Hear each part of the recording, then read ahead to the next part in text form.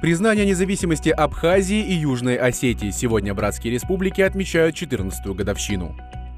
Данное знаменательное событие в истории абхазского государства создало необходимые условия для всесторонней реализации потенциала республики, защиты прав и интересов ее граждан. Братский народ Южной Осетии демонстрирует достойный пример государственного развития на различных исторических этапах. Уверен, что основанный на искренней дружбе, взаимной поддержке и уважении, традиционно высокий уровень сотрудничества между Приднестровьем и Южной Осетией продолжит развиваться и всемерно укрепляться.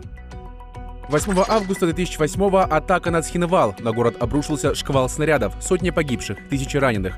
Но помимо Южной Осетии была еще одна цель.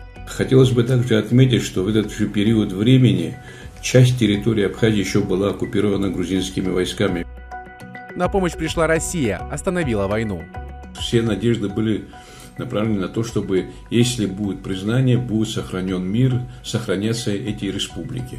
Признание России получили сразу две республики. Это было 26 августа 2008 Об этом говорит в обращении тогда президент России Дмитрий Медведев. В Абхазии и Южной Осетии его смотрят все. Позже независимость двух республик признали еще Никарагуа, Венесуэла, Науру и Сирия.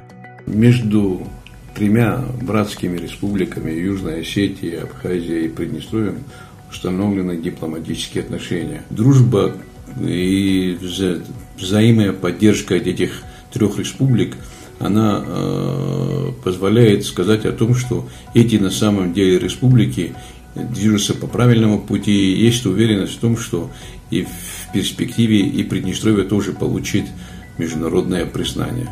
В Южной Осетии и Абхазии есть наши официальные представительства, так же как у нас представительства братских республик.